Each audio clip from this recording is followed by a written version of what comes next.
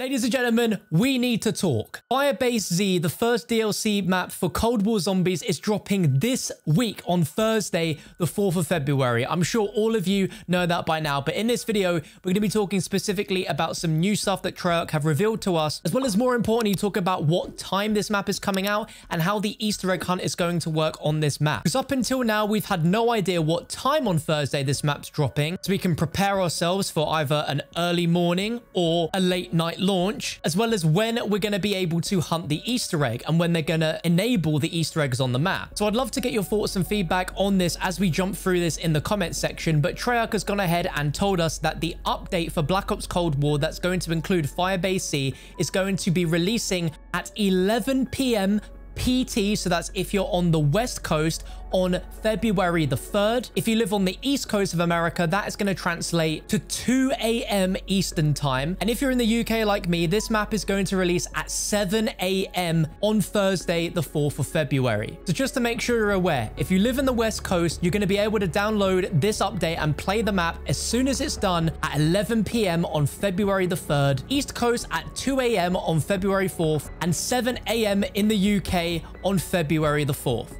If you live anywhere else, just put it into a Google time converter. I'm sure it'll be able to help you out. But the important thing is when is the Easter egg going to be available? So the map is going to be coming out on February the 4th, but the Easter egg won't be activated until February the 5th at 9 a.m. Pacific time, which is midday Eastern and 5 p.m. in the UK the following day. That means this map will have been out for 34 hours before the Easter eggs in the map will be activated. So on Thursday, we can play this map to our heart's content. We can learn the map. We can do probably Pack-a-Punch. But aside from that, we won't actually be able to find any Easter eggs or try and hunt the main Easter egg for 34 hours. Now, obviously, that's quite an interesting thing. Personally, I have no problems with the map coming out and the Easter eggs not being activated straight away, but waiting 34 hours after the map's initial launch to activate the Easter eggs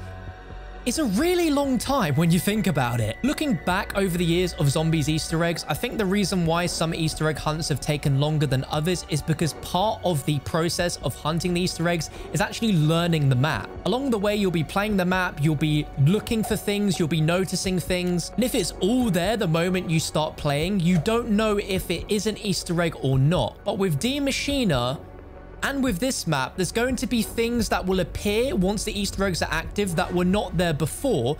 So it's a lot more obvious to our eyes, keen eyes that have been looking over the map the entire time, to notice what is an Easter egg and what isn't an Easter egg. It's going to be really interesting because everyone's going to play this up to a point where they aren't really going to have much else to do besides going for high rounds and just playing the map for fun. The only thing that worries me about this is that those that have the PC version of the game can start digging through the files and find stuff about the map and the Easter eggs prior to them being activated. Now, I'm sure Treyarch are aware of this and they're going to have things in place that will stop this from happening. And I really hope that's the case because I don't want this Easter egg hunt to be ruined the moment that the Easter egg gets activated. But I feel with the system that they're doing by having the egg locked for 34 hours means that when it does get unlocked, the Easter egg is going to be completed pretty fast because normally people can't differentiate items in the map that are an Easter egg step or part of an Easter egg to stuff that isn't because they haven't learned the map. But when they do learn the map and then stuff gets activated and appears,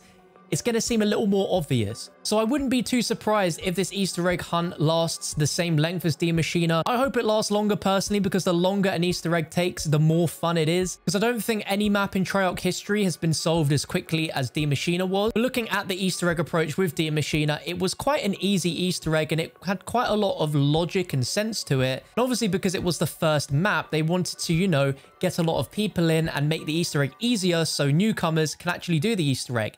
And for all we know, they might go down the same route with Firebase Z, we really don't know. Either way, please let me know your thoughts in the comment section on this decision. There could be a chance that they might revert this decision and change the times. I don't know. But at the moment, these are the times that we've got. And if it does change, I'll be sure to let you guys know. But following on with today's new intel, we have a load of images which Treyarch class the energy of the future. That basically discusses how the teleporters work, as well as specifically in this talking about a portal chamber that you have to go through and basically quarantine in once you've been in the Dark Aether. This is a really interesting image because it talks about the actual teleporter that we'll be using in Firebase Z. And the most interesting thing is what is approved for teleportation and what isn't. And if we go at what is not approved for teleportation, you can see that someone, an officer Gustav, went in with goldfish, which merged into a singular blob but even more interestingly is that dogs have vanished only to reappear days later on fire